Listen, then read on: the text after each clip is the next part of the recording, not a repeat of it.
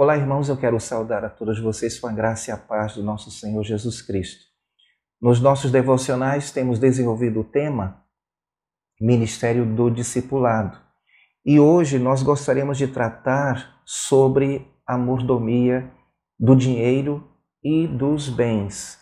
Eu quero responder junto com vocês a pergunta: qual deve ser a minha atitude como um discípulo de Cristo no uso do dinheiro e dos bens. Uma das maiores tentações que nós, como cristãos, temos enfrentado é com relação ao materialismo. Muitas pessoas, infelizmente, a maioria, aliás, medem o sucesso pelos bens materiais que possuem, quando na realidade o sucesso de um homem sucesso de uma pessoa é medido pelo cumprimento do plano de Deus para a sua vida. Eu estou falando aqui de pessoas cristãs. Nós, como cristãos, devemos medir o sucesso de nossas vidas não pelo que temos, mas pelo cumprimento do plano de Deus em nossas vidas. A Bíblia tem muito a falar sobre nossas atitudes para com os bens materiais. E o objetivo deste devocional é determinar, através de princípios bíblicos, como Deus quer que tratemos deste assunto. Vamos iniciar fazendo uma declaração. Você não precisa ser pobre para agradar a Deus. É muito importante nós entendermos isso. A espiritualidade de uma pessoa não é medida pela sua abundância ou pela falta de recursos. Em nenhum lugar da Bíblia existe uma condenação à pessoa por ela ter dinheiro ou ter bens. Ao contrário, a Bíblia trata da atitude que as pessoas têm em relação aos que elas possuem. A Bíblia não diz que o dinheiro é a raiz do mal, mas diz que o amor pelo dinheiro é a raiz do mal. Isso nós encontramos em 1 Timóteo capítulo 6, versículo 10. Podemos ressaltar ainda que muitos personagens da Bíblia, personagens uh, que se destacaram, homens santos, eram homens ricos. Salomão, por exemplo, foi o homem mais rico da história. Porém, observe a sua conclusão a respeito das riquezas, isso registrado em Eclesiastes capítulo 12, versículos 13 e 14, onde ele diz: De tudo que se tem ouvido, o fim é teme a Deus e guarda os seus mandamentos. Porque isto é o dever de todo o homem. Porque Deus há de trazer a juízo toda obra e até tudo que está encoberto, quer seja bom, quer seja mal. Um outro exemplo é de Jó. Ele foi o homem mais rico da sua época. Veja o que diz Jó capítulo 1, versículo 3. E o seu gado era de sete mil ovelhas, três mil camelos, quinhentas juntas de bois e quinhentas jumentas. Eram também muitíssimos os servos a seu serviço, de maneira que este homem era maior do que todos os do Oriente. E Jó apesar de ser um homem riquíssimo, quando toda a sua riqueza acabou, veja o que ele, ele fez, a sua atitude aqui nos versos 20 a 22, também do capítulo 1. Então Jó se levantou e rasgou o seu manto, e rapou a sua cabeça, e se lançou em terra e adorou e disse: Nu saí do ventre de minha mãe e nu tornarei para lá. O Senhor o deu e o Senhor o tomou. Bendito seja o nome do Senhor. Em tudo isto, Jó não pecou, nem atribuiu a Deus falta alguma.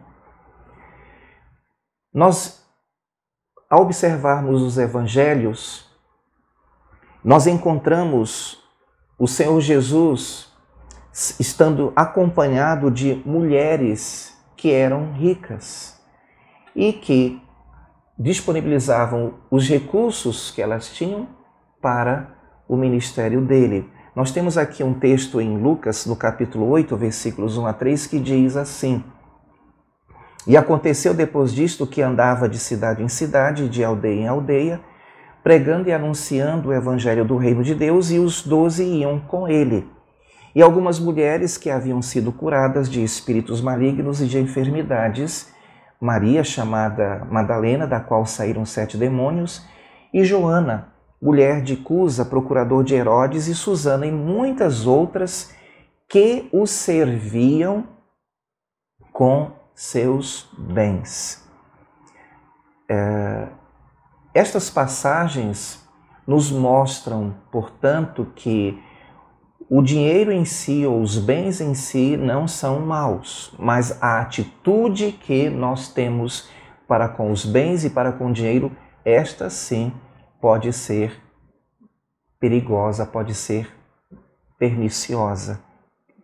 Agora, diante disto, é importante fazermos um questionamento. Até que ponto o dinheiro interfere ou pode interferir no meu relacionamento com Deus.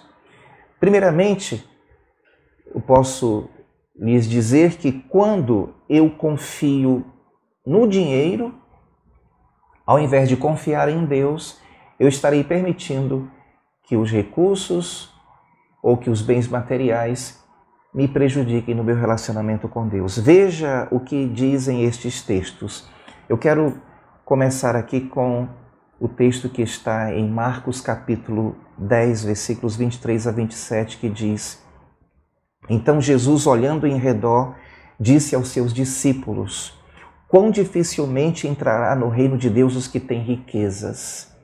E os discípulos se admiraram destas suas palavras, mas Jesus, tornando a falar, disse-lhes: Filhos, quão difícil é para os que confiam nas riquezas entrar no reino de Deus. É mais fácil passar um camelo pelo fundo de uma agulha do que entrar um rico no reino de Deus. E eles se admiravam ainda mais, dizendo entre si: Quem poderá, pois, salvar-se?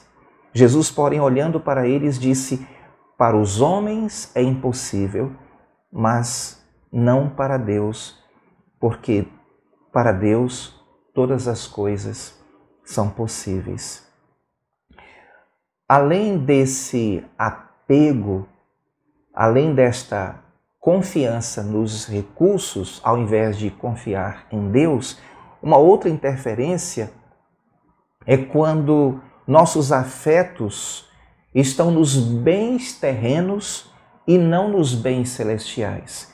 Nós precisamos nos afeiçoar das coisas espirituais. Veja o que Paulo diz aos Colossenses no capítulo 3, versículos 1 a 4. Portanto, se já ressuscitastes com Cristo, buscai as coisas do alto, onde Cristo está assentado, à destra de Deus. Pensai nas coisas que são de cima e não nas que são da terra, porque já estáis mortos e a vossa vida está escondida com Cristo em Deus. Quando Cristo, que é a nossa vida, se manifestar, então também vós vos manifestareis com ele em glória. Podemos também mencionar como uma interferência do dinheiro ou bens no nosso relacionamento com Deus, quando pensamos que a nossa própria espiritualidade ou a espiritualidade dos outros uh, podem ser medidas pelos recursos ou pelos bens materiais. Ah, em 1 Samuel, no capítulo 16, versículo 7, veja o que nos diz a palavra de Deus. Porém, o Senhor disse a Samuel: Não atentes para a sua aparência, nem para a grandeza da sua estatura, porque o tenho rejeitado. Porque o Senhor não vê como vê o homem. Pois o homem vê o que está diante dos olhos, porém o Senhor olha para o coração. Então não vou medir a minha espiritualidade nem a dos outros baseado em aparência, baseado em recursos. O modo de aferir é diferente. Um outro problema é quando ganhar o máximo de dinheiro possível se torna o objetivo de nossa vida. Veja o que nos diz a palavra de Deus em Eclesiastes 5, versículos 10 a 12. Quem ama o dinheiro jamais dele se fartará. E quem amar a abundância nunca se fartará da renda. Também isto é vaidade. Onde os bens se multiplicam, ali se multiplicam também os que deles comem. Que mais proveito, pois, têm os seus donos do que ver os ver com os seus olhos. Doce é o sono do trabalhador, quer coma pouco, quer muito, mas a fartura do rico não o deixa dormir. Então, como cristãos, como discípulos de Jesus Cristo, nós precisamos tomar muito cuidado em colocar como foco do nosso objetivo ganhar dinheiro. E ainda um outro tipo de interferência que o dinheiro pode produzir uh, no nosso relacionamento com Deus é quando nós pensamos que nós é que provemos as nossas necessidades e não Deus. É muito perigoso quando um cristão que tem condições financeiras, uma pessoa que é inteligente, uma pessoa que tem habilidades, começa a pensar que é ela quem tem a capacidade de adquirir recursos. Isso certamente vai prejudicar o nosso relacionamento com Deus. As pessoas do mundo pensam dessa forma, mas um cristão não deve pensar assim. Veja o que nos diz Deuteronômio capítulo 8, versículos 10 a 18. Isso é Deus falando conosco, irmãos. Quando, pois, tiveres comido e fores farto, louvarás ao Senhor teu Deus pela boa terra que te dou. Guarda-te que não te esqueças do Senhor teu Deus, deixando de guardar os teus os seus mandamentos e os seus juízos e os seus estatutos que hoje te ordeno. Para não suceder que, havendo tu comido e fores farto, e havendo edificado boas casas, e habitando-as, e se tiverem aumentado os teus gados e os teus rebanhos, e se acrescentar a prata e o ouro, e se multiplicar tudo quanto tens, e se acrescentar a prata e o ouro, se eleve o teu coração e te esqueças do Senhor teu Deus, que te tirou da terra do Egito, da casa da servidão, que te guiou por aquele grande e terrível deserto de serpentes ardentes e de escorpiões e de terra seca, em que não havia água. E tirou água para ti da rocha pederneira, que no deserto te sustentou com maná que teus pais não conheceram, para te humilhar e para te provar, para no fim te fazer bem. E digas no teu coração: a minha força e a fortaleza da minha mão me adquiriu este poder. Antes te lembrarás do Senhor teu Deus, que é Ele o que te dá força para adquirires riqueza para confirmar a sua aliança que jurou a teus pais, como se vê neste dia. Você percebeu como é perigoso nos distanciarmos de Deus, pode nos levar a achar que nós é que conseguimos as coisas que estamos desfrutando. No próximo devocional, nós gostaríamos de tratar das atitudes corretas que precisamos desenvolver para com os bens e recursos que o Senhor tem nos confiado. E assim é, espelhar de fato o caráter de Cristo nas nossas vidas como mordomos do dinheiro e dos bens. Eu desejo a todos vocês um excelente dia na presença do Senhor.